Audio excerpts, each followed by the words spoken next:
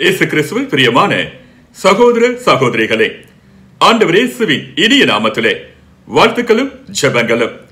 சகோதரி ஒருவர் என்னுடைய தோழி ஒருத்தி திருமணத்திற்கு முன்பே எனக்கு வர இருக்கின்ற கணவர் எப்படி வேண்டுமானாலும் இருக்கலாம் ஆனால் குடிக்க மட்டும் செய்யக்கூடாது.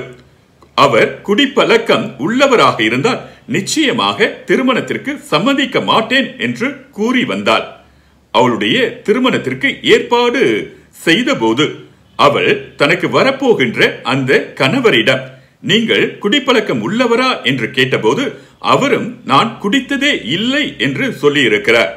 அவளுக்கு அவருடன் திருமணம் நடந்தது. ஆனால் திருமணம் நடந்து முடிந்த பிறகு தன்னுடைய கணவர் மிகவும் குடிக்கின்ற ஒரு நபர் அவர் குடி பழக்கத்திற்கு அடிமையானவர் என்று கண்டுபிடித்தார். அவளுடைய திருமணம் செல்லுபடியான திருமணமா என்று கேட்டிருந்தார். அன்பார்ந்தவர்களே ஒரு சில திருமணத்திலே குண மாறாட்டம் என்னும் தவறு ஏற்படுவதற்கு வாய்ப்புகள் உண்டு.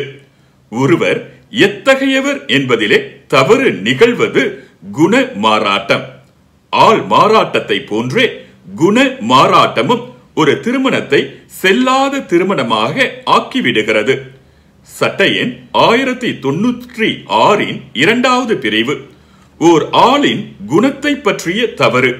அந்த தவறு ஒப்பந்தம் செய்வதற்கு காரணமாக இருந்தாலும் கூட அந்த குணம் நேரடியாகவும் முதன்மையாகவும் விரும்பப்பட்டிருந்தால் அன்றி திருமணத்தை செல்லாததாக்குவதில்லை என்று கூறுகிறது.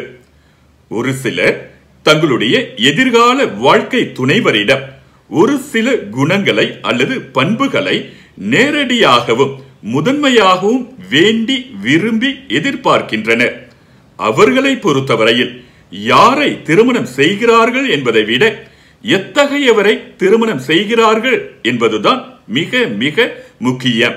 சுருக்கமாக அவர்களுக்கு ஆள் முக்கியமல்ல மாறாக குணம் அதாவது பண்புதான் முக்கியம். அவர்கள் நேரடியாகவும் முதன்மையாகவும் வேண்டி விரும்பி எதிர்பார்த்த குணம் தன்னுடைய வாழ்க்கை துணைவரிடத்தில் இல்லை என்றால் அவர்களுடைய கணிப்புப்படி அந்த நபர் முற்றிலும் வேறுபட்ட நபராக மாறிவிடுகின்றார்.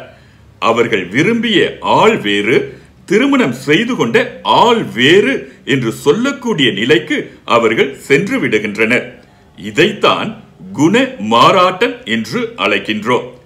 அன்பார்ந்தவர்களே வாழ்க்கையில் எப்பொழுதுமே மித மிஞ்சிய எதிர்பார்ப்புகள் கூடாது. அதே போன்று திருமணத்திலும் மணமக்களில் ஒருவர் இன்னொருவரிடத்தில் அதிகமான எதிர்பார்ப்புகளை வைக்கக்கூடாது. ஆனால் ஒரு சில நியாயமான எதிர்பார்ப்புகள் இருக்கலாம். உதாரணமாக தன்னுடைய வாழ்க்கை துணைவர் அல்லது துணைவி நல்ல குணம் கொண்டவராக நல்லொழுக்கம் உள்ளவராக குடி பழக்கம் இல்லாதவராக போதை பொருட்களுக்கு அடிமை ஆகாதவராக நல்ல வேலை உள்ளவராக அல்லது குடும்பத்தை காக்கக்கூடிய ஒரு வேலை உள்ளவராக குடும்ப பொறுப்பு உள்ளவராக இருக்க வேண்டும் என்று எதிர்பார்ப்பது இயல்பானது நியாயமானதும் கூட. இவை இல்லாத போது தாம் ஏமாற்றப்பட்டதாக உணர்வதும் இயல்பானது. இதுபோன்ற ஏமாற்றங்கள் ஒரு சிலருடைய திருமணங்களிலே நிகழ்கின்றன. அப்படிப்பட்ட திருமணங்கள் செல்லாத திருமணங்கள் என்று திரு அவை அறிவிக்கின்றது. மீண்டும் மற்றொரு கேள்வி பதிலோடு உங்களை சந்திக்கும் வரை விடைபெறுகிறேன். ஆண்டவர் இயேசு உங்களையும் உங்கள் குடும்பங்களையும் நிறைவாய் ஆசீர்வதிப்பாராக.